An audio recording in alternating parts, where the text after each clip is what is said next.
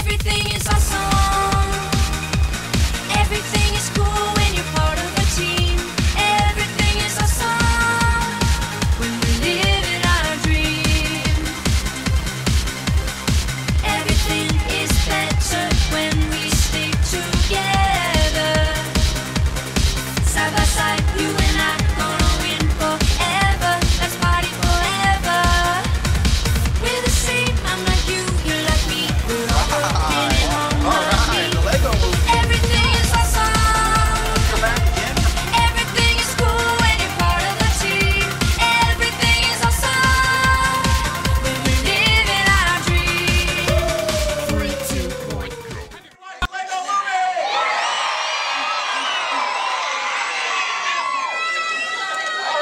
Scouts, Cub Scouts in elementary school because my brother was in it.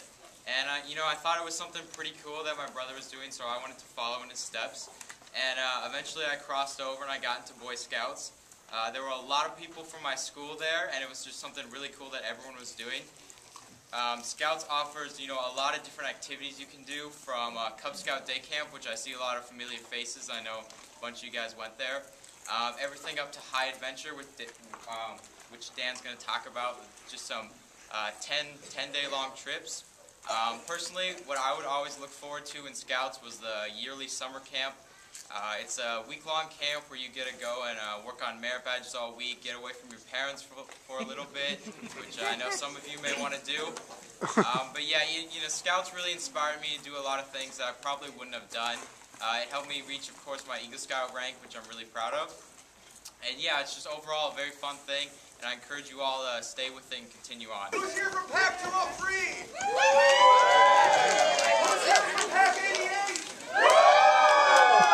Who's here from Pack 129? Who's here from Pack 13? Who's here from Pack 11? Who's here from Pack 12? Who's here from Pack I didn't mention? Everything is awesome.